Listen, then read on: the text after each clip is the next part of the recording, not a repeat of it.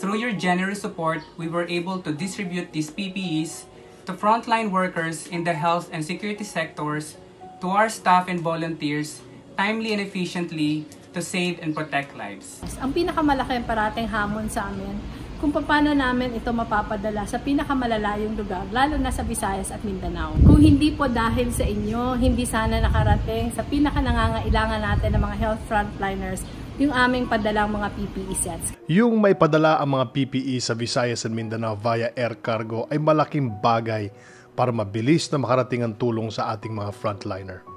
This was truly a public service by Cebu Pacific in this time of crisis.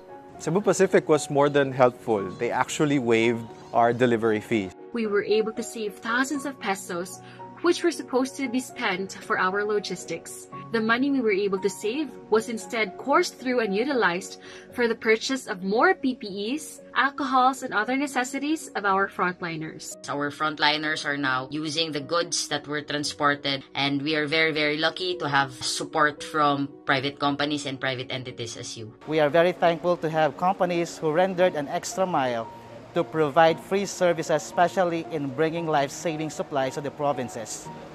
You have always been there, transporting beds, water, tents to Mindanao and so many other areas, truly helping the people of the Philippines. Cebu Pacific is giving the gift of love today, yesterday, and hopefully tomorrow. We have been so lucky to have you and we congratulate you in being part of this effort. Thank, you, so, much, Cebu Pacific!